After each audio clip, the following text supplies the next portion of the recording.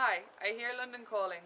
One year to go and I'm counting down the days. I'm Annalise Murphy, a laser radial sailor. I'm here at Howth Yacht Club beside the offices of the Olympic Council of Ireland. Really looking forward to being part of the Irish Olympic team in what will be fantastic games in London and Weymouth next year. Come on Ireland!